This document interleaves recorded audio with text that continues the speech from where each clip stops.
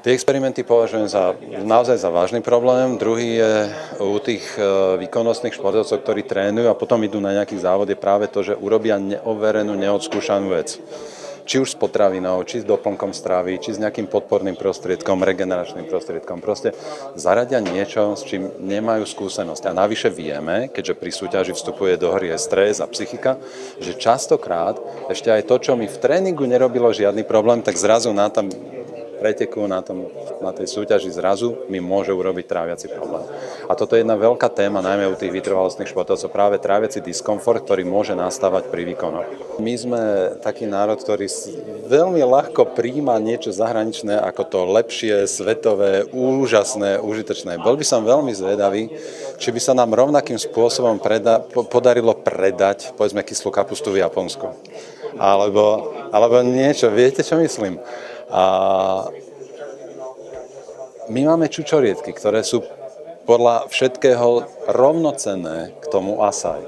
My máme lanové semeno, ktoré je podľa môjho názoru ešte lepšie než čia semienka.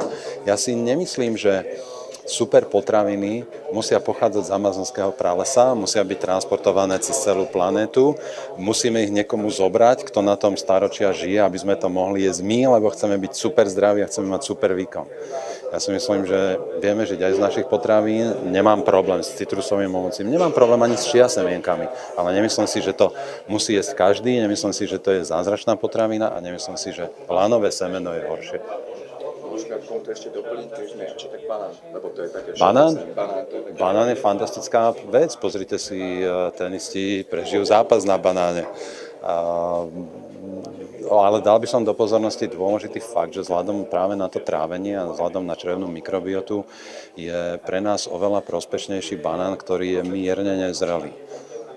Nie je pravda, že bodkované banány sú toxické, ale je tam už tak veľa jednoduchých sacharidov, že už je to v podstate ako keby ste jedli ako čistý cukor. Keď jete ten banán mierne nezrelý, keď máte trošku nazelenalú stopku, povedzme, tak príjmate aj jednoduché sacharidy, aj oligosacharidy a ešte sú v tom aj nejaké škroby, čiže je v tom aj ten komplexný cukor.